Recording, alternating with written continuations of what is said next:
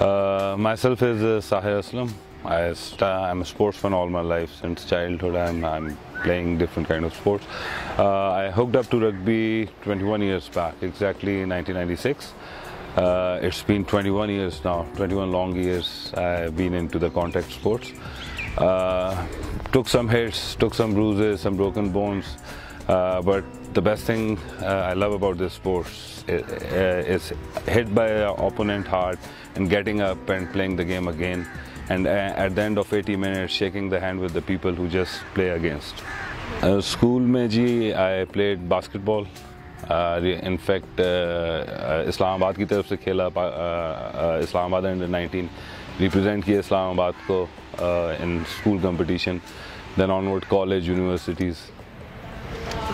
Can we just